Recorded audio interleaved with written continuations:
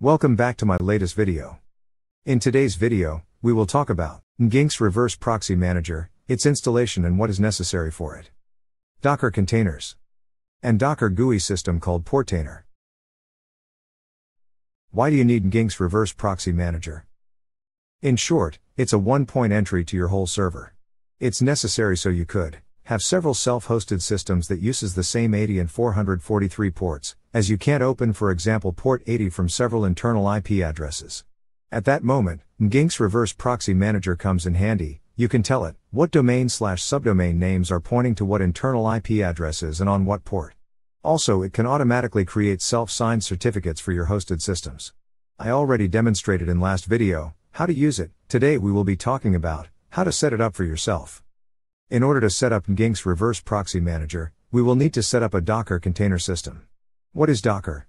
WikiGod told me then the Docker is a platform that use OS level virtualization to deliver software and packages called containers. Or in simpler terms, it allows you to host standalone packages in closed down packages, aka containers. Containers include in them all necessary packages for the software to operate. In that way, it uses less system resources and is more stable and secure. To make Docker easier to use, we will need to set up graphical user interface called Portainer. It helps with visualizing and management of the containers. As usual, all the links and commands used in this video will be in the video description. Now then that's out of the way, let's get started. First we need to create a new virtual machine. I already showed you on how to make virtual machines in previous videos, so I will not explain in detail what each step means and why you should set it up like that, just follow my lead. We will be still using Ubuntu 22 for this installation. I personally use 30 gigabytes of storage for my production Docker environment, and haven't had any storage issues for now. Remember, you can always increase disk size later on, it's a lot harder to reduce disk size. As this will be the main entrance point for whole server, I gave this VM 4 CPU cores, so there are no bottlenecks regarding the load speed etc. When everything is set up as you want, check over the configuration and if it's okay, press finish.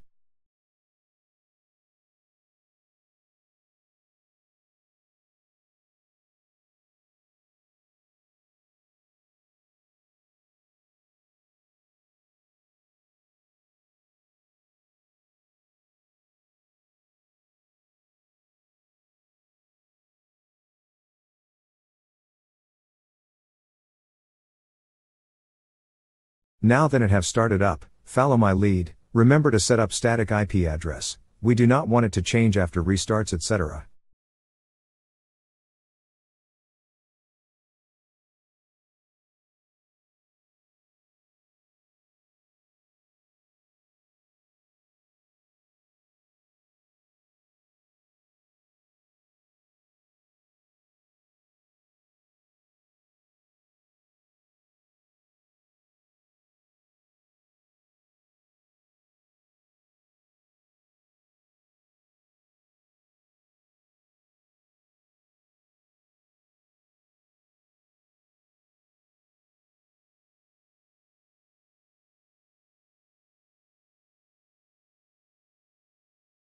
Now at the Disks tab, we can see then there is a free space left, as the automatic disk partitioning only takes 10 GB for the system drive automatically.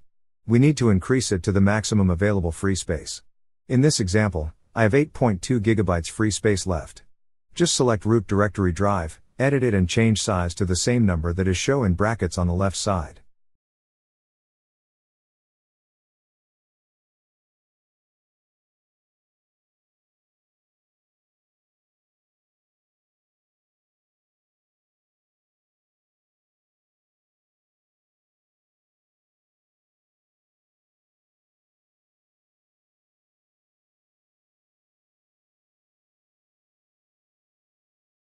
Always check the install SSH server.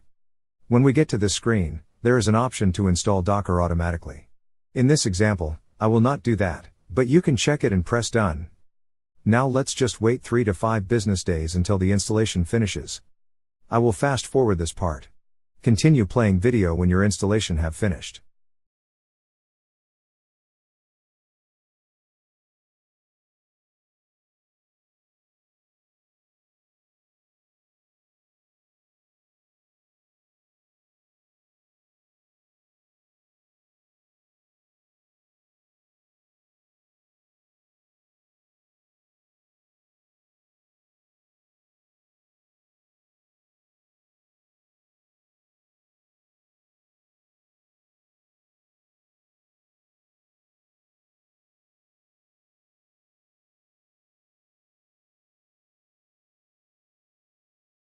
We need to unmount the installation ISO file.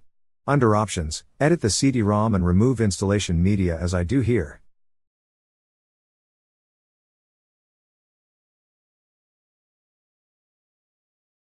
When that's done, go back to the console and press Enter. While we wait for system to start up, did you know that Linux totally dominates supercomputers? As of 2018, 100% of the world's 500 fastest supercomputers run Linux. Impressive.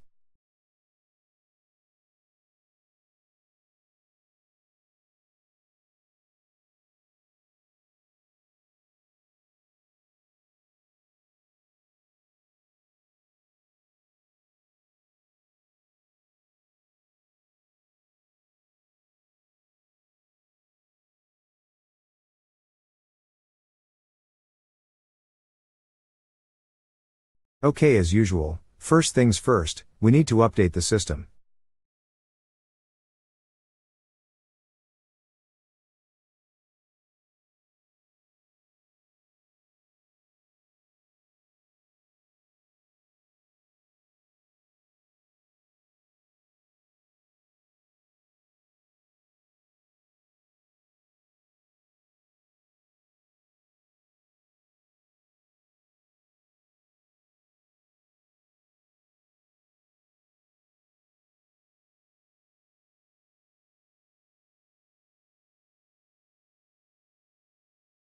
Now let's install Docker with command apt install docker.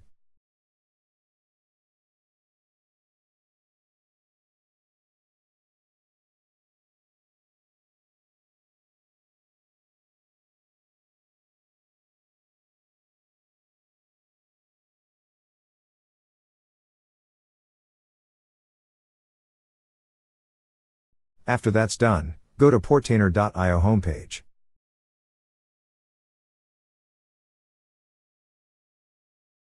Press on Get Started. Select Open Source. Select Set up New Portainer. Then select Docker Standalone.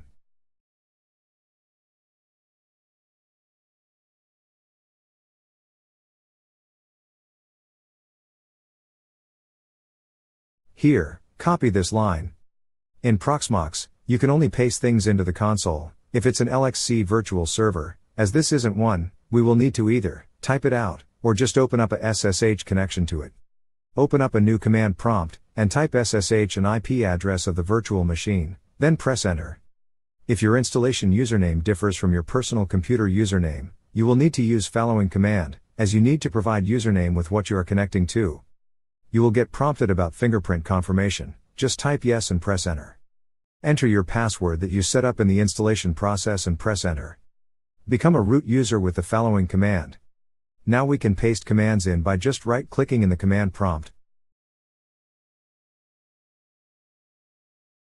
Oh, looks like I forgot to install docker.io, so just type in apt install docker.io.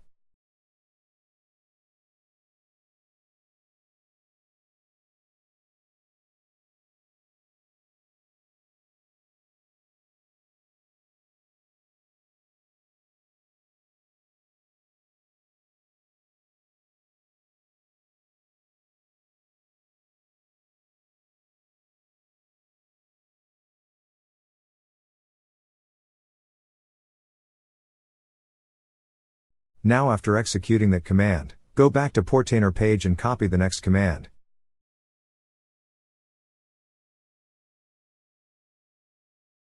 It will open up these two ports, no need to change anything there, just paste it in and press enter.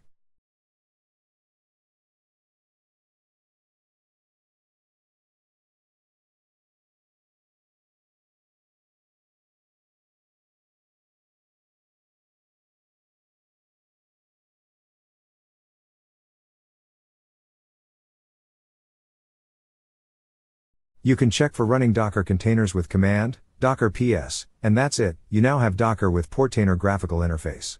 Open up the following page, just change localhost to the IP address you assigned to the Docker virtual machine.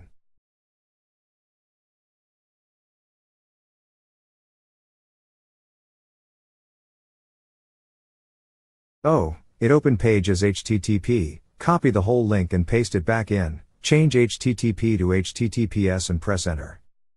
I would suggest you to set up a difficult password for this page, as from here, anyone who can get in, can access all the container data and or delete it.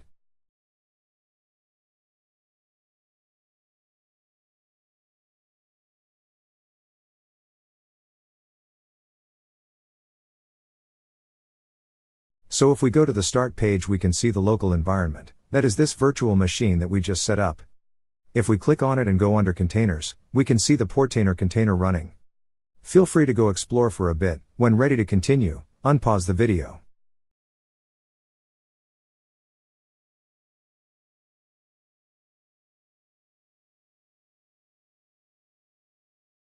Next, let's install Nginx Reverse Proxy Manager, Open up Nginx Reverse Proxy Manager homepage. Press Get Started and then select Quick Setup. Now just copy this.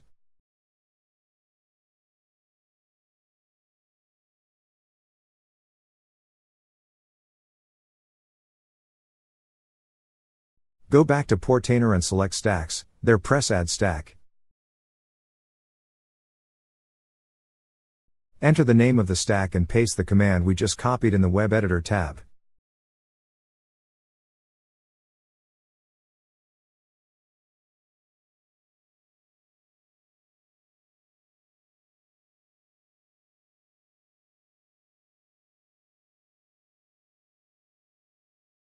Then just press deploy the stack and wait, it will take a while, depends on how much resources you gave the virtual machine.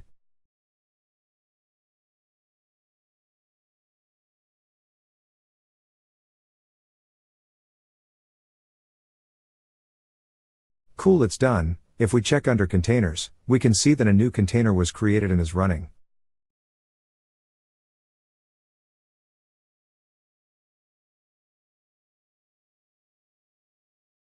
The default username and password can be seen in the Nginx Proxy Manager homepage. Let's try to open it up now. Again, enter the virtual machine IP address and in the end add the port 81. Enter the default username and password.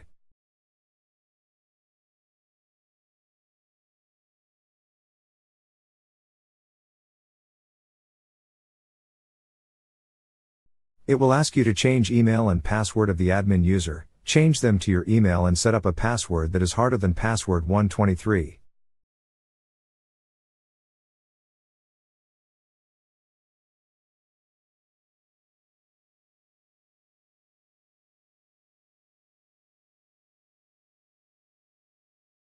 And that's it, you now have Nginx Reverse Proxy Manager installed and ready to be used. Check my previous video, if you want to see how to use it.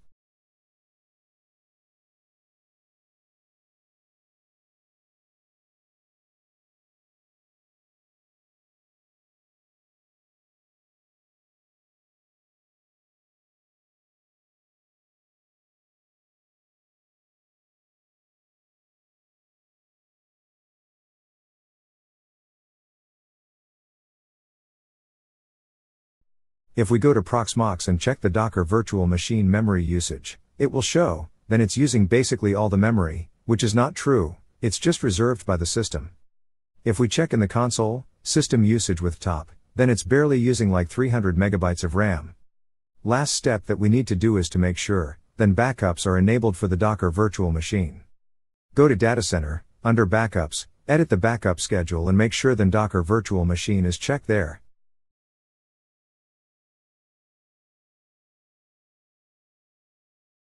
And that's it for today's video. It was a bit shorter than I expected, but hey, still useful. Thank you for watching, please like and I know that it's hard to press that big button with subscribe on it, but please try if you haven't already, I believe in you. Anyhow, thanks for watching, if you have any questions or suggestions, please leave comment down below. See you in the next video, cheers.